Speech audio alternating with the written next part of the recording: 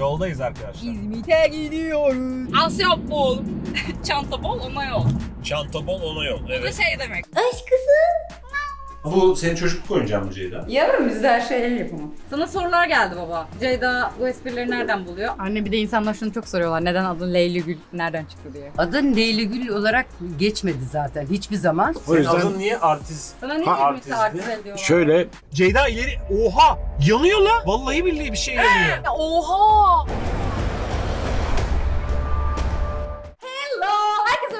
Ne yapıyorsunuz? ne yapalım? Sanki videoyu tek başıma yapacakmışım gibi bir giriş. Çiçek! Yeah, I'm here. I'm Saçlara here bak ya. I'm Ya- here mı dedin? He.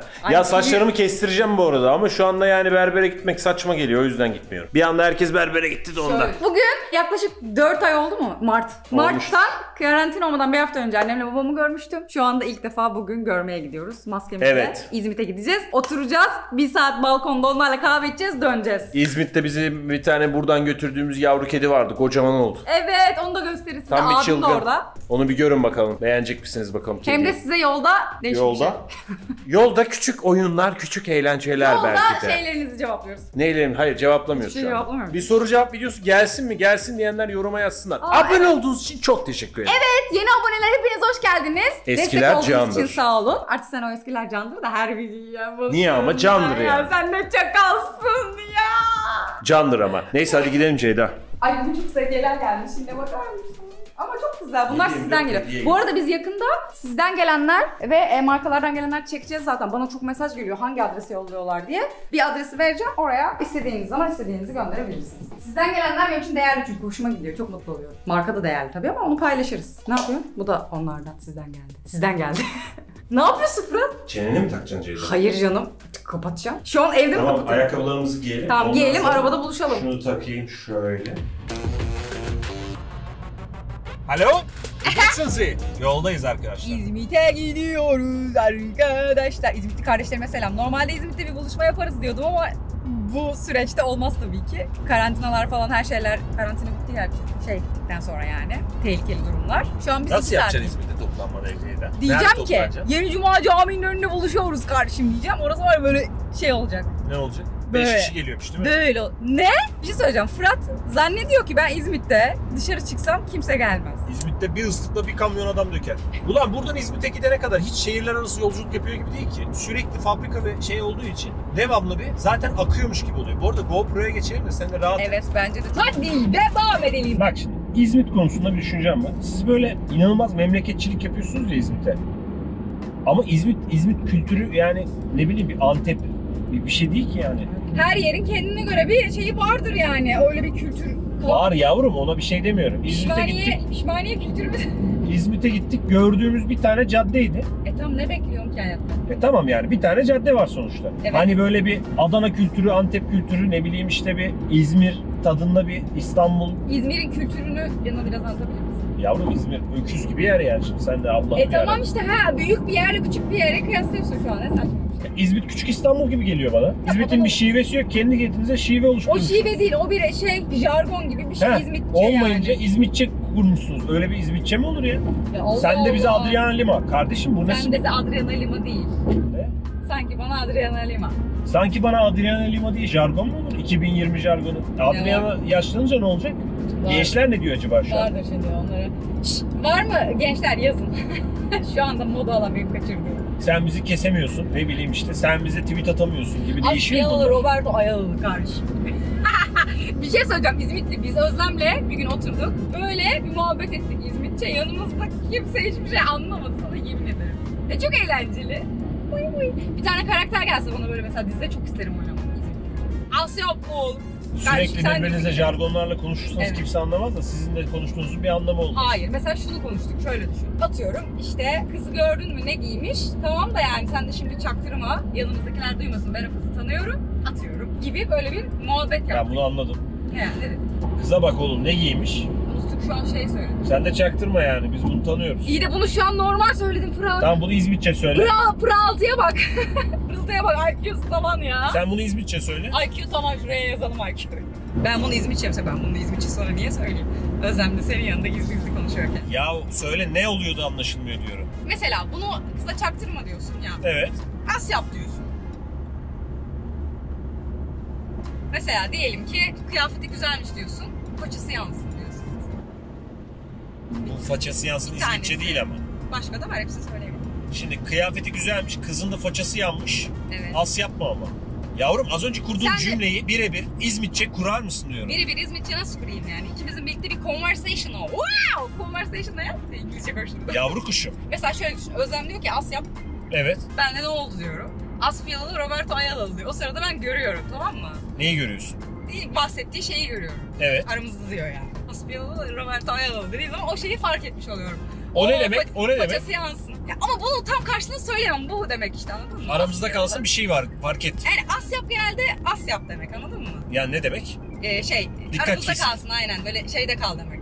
Çaktırma Asyap. Tamam. Asyap oğlum gibi anladın mı? Tamam. Öteki neydi? Aspiyallı Roberto Ayalalı da daha şeyde kullanılıyor böyle hani artık ya Evet. şunun gibi o Inter Milan falan filan hani ya boş yapıyor gibi yani. Ya nasıl anlatabilirim tam tam karşılığı yok işte böyle biz anlıyoruz onu. Mesela atıyorum çanta bol ona yol diyoruz. Ne? Çanta bol ona yol. Çanta bol ona yol. Bu da Evet. şey demek yani benim zaten canım sıktı. Evet. Genelde işte ya ayrıldıkları kız arkadaşı ya da işte hoşlanmadıkları birini hayatından çıkardığında sonra. Daha çok böyle ben bunları konuştuğum zaman cebimdeki 50 liram kaybolacakmış gibi dızlanacakmışım gibi hissediyorum ya anladın mı? Böyle bir grup dolandırıcı gelmiş arkadan böyle tamam oğlum ha ayarladık bilmem ne gibi bir şey oluyor. Şey diyorum mesela. Oo Paşlı Magazin gel. Bak taşlı magazin hani böyle sanki yolda birini görmüş anladın mı? O bunun cepler doludur gelin bunu indirelim falan. Hayır ne demek biliyor musun? Sürekli böyle korku dolu cümleleri var yani. Hayır, şu demek, Ben, ben de öyle uyanıyorum yani. Güzel yani güzel bir şey var. Gıybet var. Gel konuşalım. O Paşlı Magazin. Sen bizi kesemiyorsun da biz sana mobeseyiz. Bunu zaten sürekli söylüyorum. Bu da şey. Biz bu işleri biliriz yani. Sen bizi görmüyorsun da biz senin farkındayız yani işte çoktan. Atar mı yapıyorsun bunu? Atar yapmıyorsun. Atar da yapılabilir bu cümle. Genelde cümlelerin yani %80'i atarlı zaten. Sinyal yapmak var. Zaten artık herkes biliyor.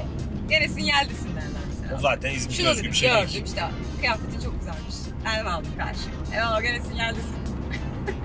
Bir dakika sinyal başka bir şey o zaman. Sen de dedik diye biliyorsun sinyali. Sinyal yapmak, milletten bir şeyler çorlamaya çalışmak. Tamam işte Aldım. o da o sırada onu söylüyordu. Bak kıyafetin güzelmiş karşı. Nerede? Ama yine sinyaldesin. yine. Ha karşı taraf diyor sinyaldesin. E, tabii. Ha yine sinyaldesin. Biri birinden aldıysa mesela hediye almış onu belliyse eğer de söyler. Ya gene sinyal yapmışsın bunu almışsın. Atıyorum Özlem benim bir kıyafetimi beğenir alır. Kendi giyer ya. Ben Evet. ona gittiğimde bunu ne sinyal yapmışım kızım sen değil mi? Benden almış gitmiş anladın mı? Onu çalmış yani benden giymiş. Anladım. Gibi.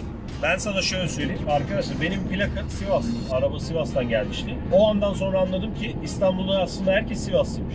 Yani nereye park etsen bir Sivaslı geliyor. Neresinde? Her yerde Sivaslı var. Ben böyle bir şey görmedim. Yani Sivas'ın nüfusu kaç ki İstanbul'da bu kadar Sivaslı bulunabiliyor ya? Ve inanılmaz birbirlerine yardım ediyorlar, tutuyorlar ya. Böyle bir şey olamaz. Hereke'yi geçiyoruz. Hereke'de benim üniversitem. Kocaeli Üniversitesi, Güzel Sanatlar Fakültesi. Yani mezunum o Hereke'deydi. Sonra merkeze taşındım. Güzel. Çok güzel. Şapşa. İzmitli gibi bir gün geçirdik olsun istiyorsan bunu biliyorum. Tamam İzmitli gibi bir gün geçirdim. Seviyorum da bu işleri. Asbabam kantorize olmuş kardeşim. Yani sık kullanılanlara ekleniyor. Ekliyorum. Tamam ekle şimdi. Seviyorum da bu işleri. Ya sen bizi kesemiyorsun mu OBS? İzmitliler ağlıyor. ABS'en takılmış kıtır kıtır gidiyorsun kardeş. Ben kendim İzmitli gibi olurum. İstanbullular bu ne diyor. Çantam bol, içinde ağırlık yaptı kardeşim. Belim koptu be oğlum. Bu şey demek işte. Para dolu ya cüzdanım. Vallahi çalışmaktan da yoruldum ama. Gibisinden. Sen de bayağı bir Survivor be oğlum. Hani bu aralar yokluktasın, açsın demek. Diyorsun İzmitliler. Yokluktasın Kullanım mı? diye kullanılan bir şey var ama. Ne? Ters o yüz. Tersu tamam ben Survivor. Babamın lakabı ne biliyor musun İzmitli Ne? Artist Ali. Herkesin lakabı. Mesela Özlem'in koca kafa Özlem. Benimki Dümenci Ceyda. Niye dübence? Ceyda Düvenci ya. Düvenci meşhurdu biz o zaman şeyken Ceyda Düvenci'yi çok beğenirdi herkes. Ben yalan söylemem ben düven yaparım diye geyik yapıyordu böyle hani İzmit kızı şeyleri. Ceyda Düvenci diye kalmıştı benim de. Böyle ama Ceyda Düvenci değil Ceyda Düvenci. bir de Benim adım ne olurdu acaba? Çakal Fırat. Niye çakal olsun? Yırtık çorap. Çap çap Öyle bir Fırat. şey. Neo Reis. Keo Fırat. Şimdiki çocuklarda yoktur belki de bitmiştir. Var be bir tane sayfa açmışlar geçen İzmitliyiz bu oğlum diye mi ne öyle bir sayfa var yeni Hayır yani. hayır lakap takma olayıydı belki. Var ya olmaz olur mu biliyoruz biz. O zaman şimdi gidelim Artizel'in yanında açalım. Ceyda'nın esprileri nereden geliyor bir görelim. Aileden mi geliyormuş? Bakalım. evet geldik. Evet geldik. bizim evdeyiz şu an. Evet Ceyda'cığım bir ev turu alalım senden. Bunu takmıyorum. Annemle babamın yanına gidince bunu takıyorum. Neden? Çünkü ne olur ne olmaz. Ben ev turu ne yapayım? Burası işte bizim doğup Burası Leyli Gül'ün doğup büyüdüğü. Doğup büyüdüğü mü? Odanı da Hayır, bir. doğup büyüdüğüm yer burası değil. Annem gayet benim gibi değişim dönüşüm şeyleri yapıyor gördüğünüz gibi. Evet. Anne! Bu ne? Bunu da Bunu sen yaptın. abim yapmıştı kaç sene önce. Ha, Duvara. Gökmen de burada. O zamanlar daha böyle Troll şey. bir pozla. Bu da babamla ben. Tipime bak. Bence asıl bomba bu. Tarzım. Tam bir Leyli Gül. Anne sen ne yapıyorsun? Bakın bu annem. Gülgün kasabalı yaklaşmıyorum kendisine. Maskeni tak canım benim. bu ne? Dolap. Eskitme yapacağım. Bu ne? Aa bu ne? Üçüncü halanız Don Juan. Bu Delacarte e, mi? hayır, Kim bu? hayır, hayır. Hayır. Röne- Rönesans, Rönesans döneminin kadınları bunlar. Bunlar bir tane. Bir tane bu ama. Bir bu, içeride var. Ha. Ha. Sanatçı benim annem. Kusura bakma. Bunu tabii sen çizdin değil mi? Tabii ki. Tabii ki. Tabii ki. Tabii. Bizim evde bir tane benim böyle arkada arkası dönük bir kız var ya. Dali'nin onun annem yapmıştı işte bana soruyorsunuz. Ay da kız. Tövbe estağfurullah gözlerine bir şey olmuş. Tabii gözleri, o zaman onların acayip çekik böyle bir garip e, gözleri varmış onların Ha. o dönemin. Yani tarzları da böyleymiş. Peki biraz Keriman Halis Ece'ye benzemiyor mu anne? Biraz benziyor gibi. Keriman Halis Ece ilk kainat güzel aslında. Biz Ece sülalesiyiz. Keriman Halis Ece de doğal olarak bizim neyimiz oluyordu? Büyük büyük. Anneannenin halası. Anneannemin halası oluyor. Benim anneannemin ismi de yani annemin annesinin. Keriman Ece zaten. Yani soyum, Fırat'cığım benim soyum kainat güzelliğine dayanıyor. Peki kraliçe soyundan geliyor. Asıl bombayı göstereceğim. Bunu biz küçükken bebekken getirmiştik. Bahsettiğimiz bitch bu. Evet. Ne yapıyorsun? Maskot. Maskot gelsene. bize Gel. gelin. Gel maskot. Kocaman oldu ya. Çok büyük bu ya. Bunu getirmiştik buraya. Annemlerin önceki kedisi Oscar vardı. O vefat edince şu kadar Yakalasana. el kadardı. Nasıl Yakala, yakalayayım bir şey aşkım? bir şey Kocaman yapmaz Garfield o. gibi. Bak bak. Gel.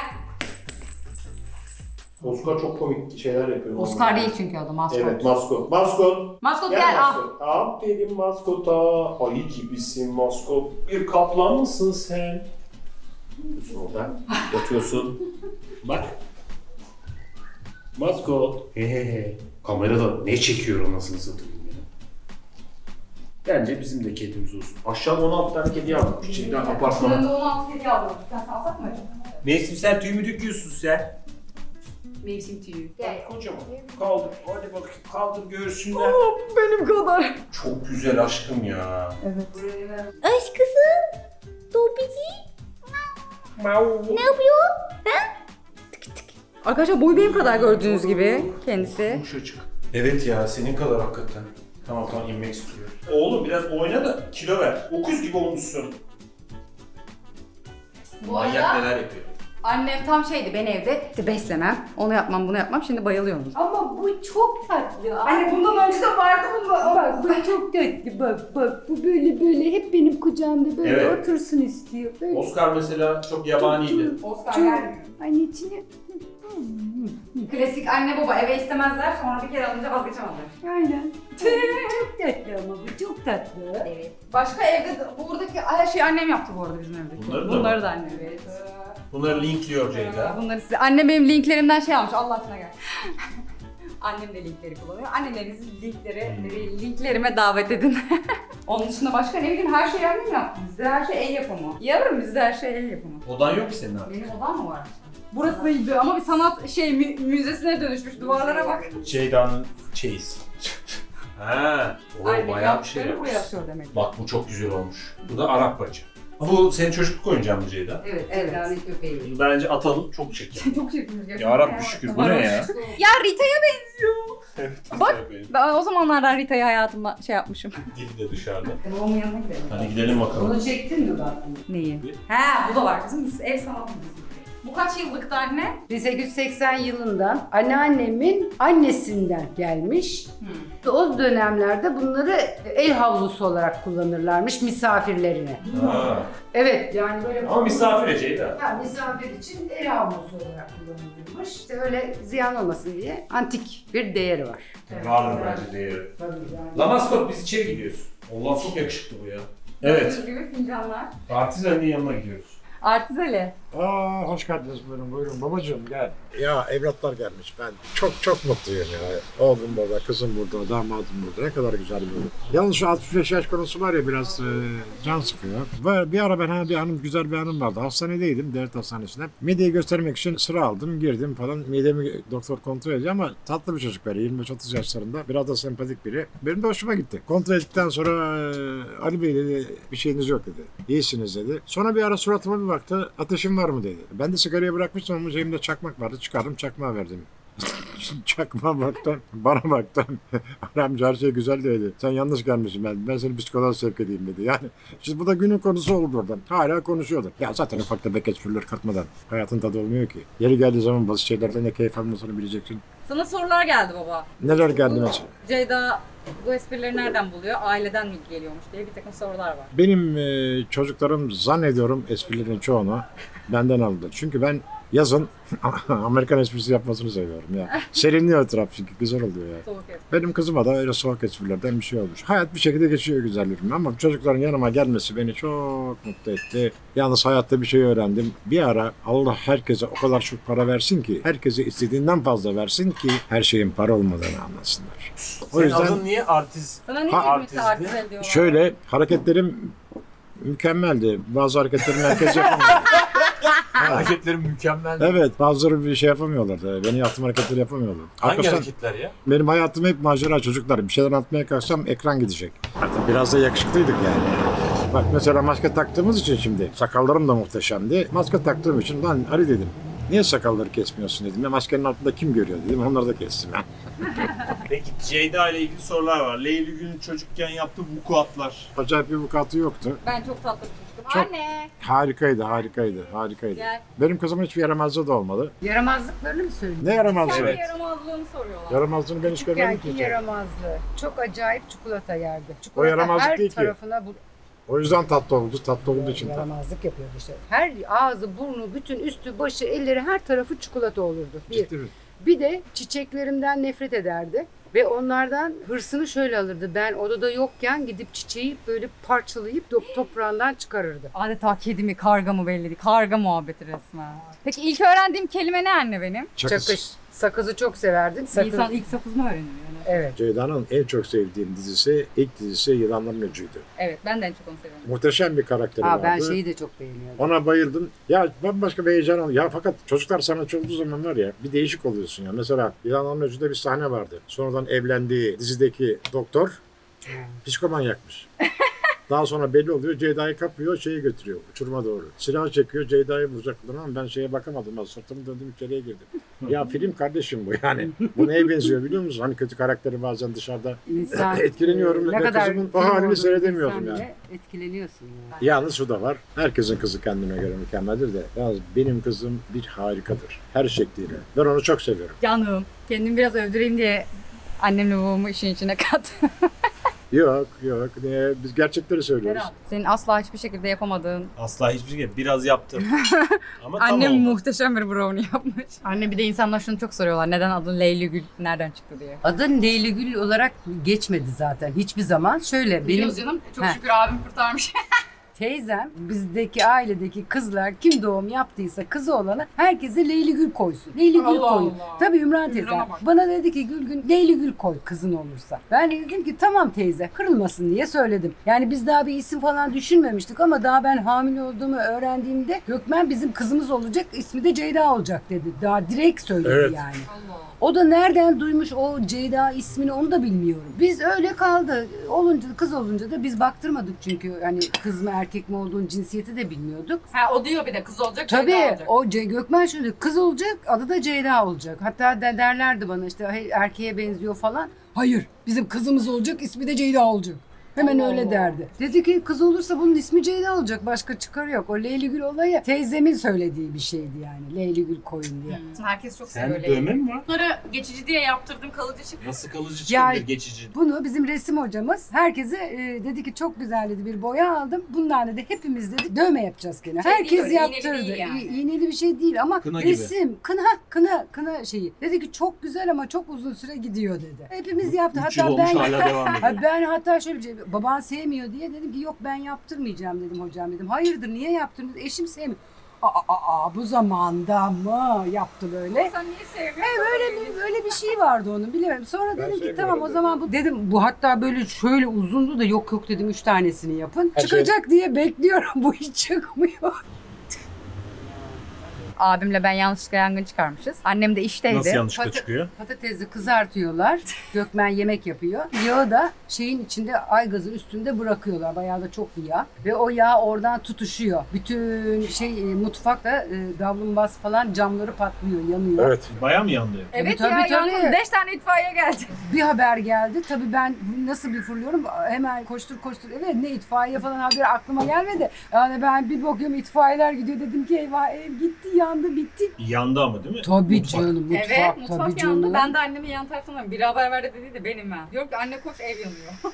bir günde böyle evde oturuyoruz, salonda oturuyoruz. Balkon tarafında bir ışık var ama hiçbirimiz anlamıyoruz. Dördümüz de yemek yiyoruz salonda. Allah Allah dedi annem bir gitti mutfak yanıyor. Tüy mü tutuşmuş? Tül tül tutuşmuş. Şimdi böyle oturup yemek yerken evin içinde karşıdaki camdan Allah Allah orada yangın var ama kimse hareket etmiyor diyorum. Sonra birden aklıma geldi. Aa, bizde var bu yangın yandı. Hemen mutfağa bir koştum. Tül tutuşmuş alev alev. Ali Adanaklıcılık yaptım seneler. Şahane bir balıkçımız vardı bizim. Kaptan Restoran diye. Ama hakikaten mesela balığı tavada yapıyor ama şöyle tabağına geldiği zaman parmağını balığa bas gram yağ göremezsin. Öyle bir ustaydı. Bandırmadan iki tane misafirim. Biri şey kaptan bir tane de saç fabrikasının müdürünü getirmiş yanında. Ama saç fabrikasının müdüründen haberim yoktu benim. Yarım saat, bir saat kadar benim yanıma varmadan telefon açtılar. Biz geliyoruz ya. Buyurun dedim. Hemen bir şeye telefon açtım. Bir kilo balık işte her neyse bir şeyler hazırlatırdım. Masa hazırlandı. Geldi. Masa hazır dedim. Doğru şeye geçelim dedim. Bürodan çıktık. Yemek yiyoruz ediyoruz. Bir ara benim karşımda kaptan. Masanın bir ucunda da salça fabrikası müdürü var. Onunla tanıştırdı. Ondan sonra bir ara gırgırla karışık kaptan güzel espriyle konuya girmeye başladı. Tam büyük bir keyifle onu izliyorum. Orada sofrada bir şey bitmiş. Salça fabrikası müdürü şeye dönüyor mekana doğru. Bakan yok mu diye sesleniyor. Tabii bir arada ben onu anladım fakat gelen yok giden yok. Kaptanın şeyini de bölemiyorum. Bir dakika diyemiyorum ona. Kaptan o kadar güzel anlatıyor ki neyse kaptanın anlatması bitti. O arada tak salça fabrikası bir daha bakan yok mu dedi. E döndüm ya güzelim dedim. Görmüyor musun dedim. Burada bakan yok ki dedim. Merkez milletvekili. Üç gün sonra beni bandırmadan arıyor müdür. Ya Ali'cim diyor. Bu fabrika o kadar kötüleşti ki diyor. Ya bir şey isteyeceğim diyor. Bakan yok diyor. Herkes milletvekili. Yani espri acayip bir şekilde yazıp gitmişti yani. Adeta benim soğuk esprilerim gibi. Zaten soğuk ha. Arada çok sıcak oldu. Araya bir tane koyayım dedim. Ne yapıyor ya? Ayağıma sarıldı Ha, o çok sever. Ayak, Aa, ayakla bak, bak. Oynamayı çok seviyor. Isırmaz hiçbir şey yapmaz. Çekmezsen yalar. Küçük tatlı çocuk. Evet. Evet. Aile ziyaretimiz bitti şimdi. Evet. Gidiyoruz. Sallamamak çok kötü. Canlarım. Utku'nun yanına gideceğiz şimdi. Kart- Devam ediyor videomuz. Devir daim. Kartları vereceğiz. Devir daim yapacağız. Bir İstanbul yolculuğumuz var. Yolları çekelim azıcık. Bakalım yollarda neler oluyor.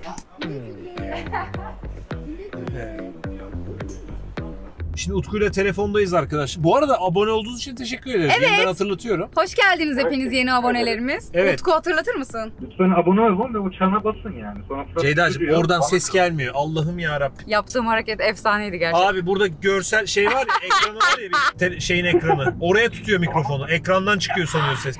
Utku'ya tuttum işte Fırat. Ceyda ileri oha yanıyor lan. Vallahi billahi bir şey yanıyor. Ana! Utku bir şeyler yanıyor ileride. Yangın var yolda Bir anda ya. yangın çıktı bu arada. O yüzden hemen kamerayı açtım. Vallahi billahi. Ben de diyorum ki o duman nereye gidiyor? Ne oluyor ya? Ne oluyor ya? Çünkü yükseldi bir anda farkında mısın? Kaçın kaçın. Bir şey söyleyeceğim. Bas, Yolun bas, ortasında Oha! yalnız yani. Aa otobüs yan. Araba. Ya oha! Ne oluyor lan? Ay inşallah. Araba şey- değil galiba ya. Ne o? God damn it man. God damn it.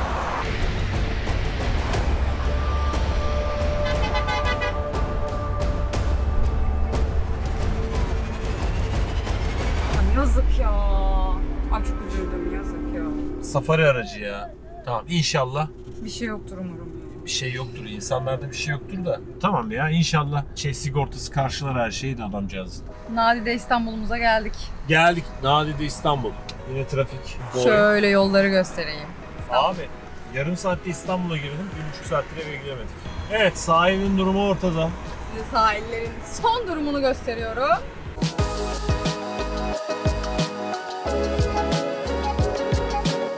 Look at that. Look at this. Look at that. Evet geldik şimdi Utku Bey'in yanına. Şimdi kamerayı kapatacağız. İki tane yüz var ya Ceyda. Evet. O konuda iyiymiş ha. Bir sana bir bana ikimize de kare koyuyor bak. Burada iki tane yüz var diyor. Bu yüzsüz kadın değil diyor. Bu adamı diyor netleyeyim diyor. Evet İki arkadaşlar. yüzlü yani şu an. Bu- geldik Utku Bey'in yanına. Merhaba. Oy. Utkucuğum yaklaşmasana kameramız. arabaya. Bir buçuk metre. Neden ya? Bir buçuk metre. Utku kamera çok iyi. Sende kalsın. Tamam. Kurcala et. Tamam. İnanılmaz. Ben bir bakayım ona. Fuji filmi buradan tekrardan teşekkür ediyoruz. XT4 arkadaşlar. İlk aldığımız zamanı şuraya yukarıya koydum oradan gidebilirsiniz. Eyvallah. Umarım videoyu beğenmişsinizdir. Bu da size böyle sıcak Çana bas, samimi, abone ol, her şeyi yap, kendine iyi bak. Görüşürüz. sıcak samimi bir sohbetli bay. Cümlemizi de bitiremedik.